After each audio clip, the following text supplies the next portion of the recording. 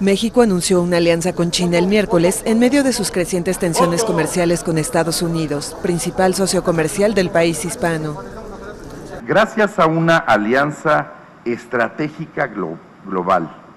a través de las empresas Gian Motors, Jack Motors y FAO, lograremos una inversión en su primera fase de más de 4.400 millones de pesos para ensamblar vehículos asiáticos en Ciudad Sagún, en el estado de Hidalgo, y con ello la creación de mil empleos directos y 4.500 empleos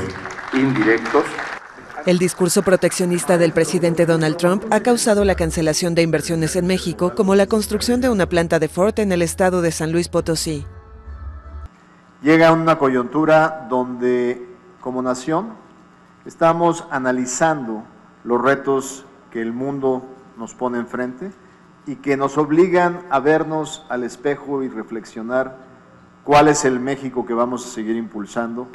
Se espera iniciar la producción el 28 de marzo con el ensamblaje de unos mil automóviles en el primer año y alcanzar una meta de 10.000 unidades anuales para 2021.